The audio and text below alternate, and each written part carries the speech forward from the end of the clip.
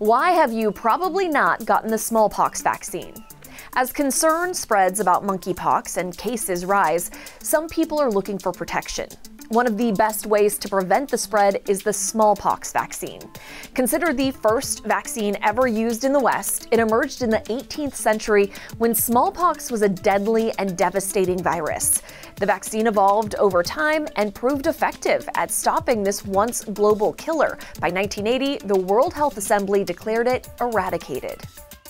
But smallpox was considered eradicated in the U.S. even earlier, so by 1972, routine vaccinations for the virus ended. According to the New York Health Department, the U.S. government only provided the smallpox vaccine to a few hundred scientists and medical professionals who worked with smallpox and similar viruses doing research.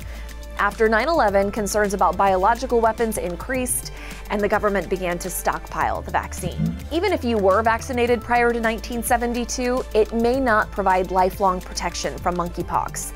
The CDC reports that during a 2003 outbreak and the current one in the U.S., several people who were infected had been vaccinated against smallpox decades before, but they do believe you have some protection.